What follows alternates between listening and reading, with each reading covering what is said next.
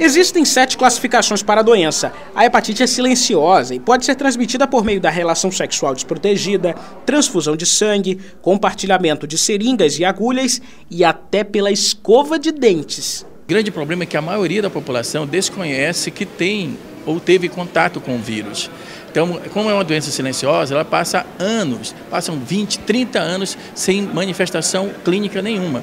E quando acontece de ter haver manifestação, já está com problemas hepáticos graves, né? às vezes até mesmo com cirrose hepática e o câncer no fígado. No Amazonas, do dia 1 de janeiro de 2015 até o último dia 15 de julho, 410 pessoas foram identificadas com a doença.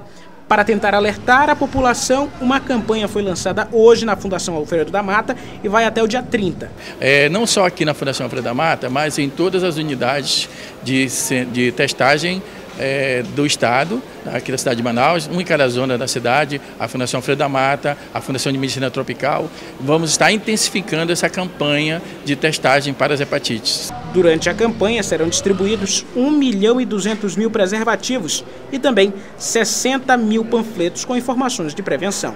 A ideia é diminuir os casos de hepatites no estado. Desde 1975 até agora, já foram contabilizados pela Suzan 8.538 casos da doença.